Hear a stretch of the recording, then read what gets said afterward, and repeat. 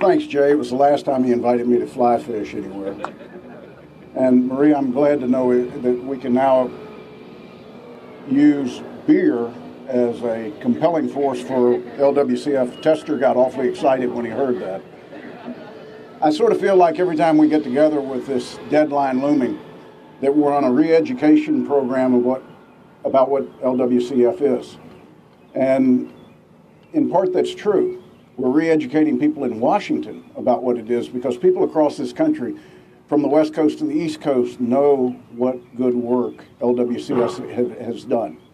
Um, as Dan alluded, uh, 80, um, almost $900 billion in economic revenues generating, consumer spending, $65 billion in federal tax revenues, zero cost to the American taxpayer for LWCF. Now, that's a compelling argument for members of Congress.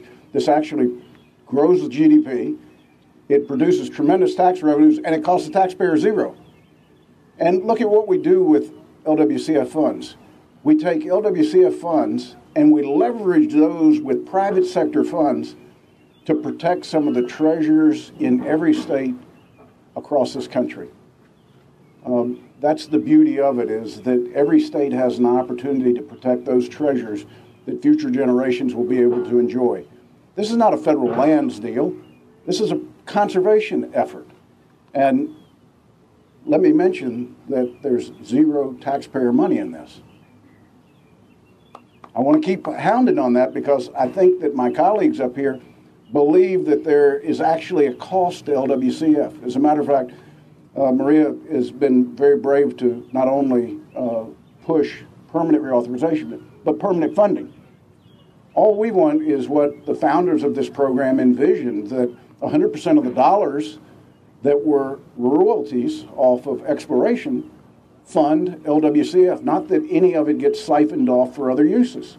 So we've got a long way to go to have reauthorization, to have permanent reauthorization, and more importantly, full funding for LWCF.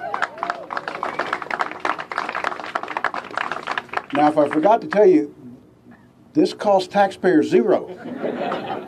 and I hope if there's one takeaway that you take back to our colleagues, both House and Senate, is that this is one of the most important conservation programs in America, and taxpayers are the beneficiaries of it, not the funders of it.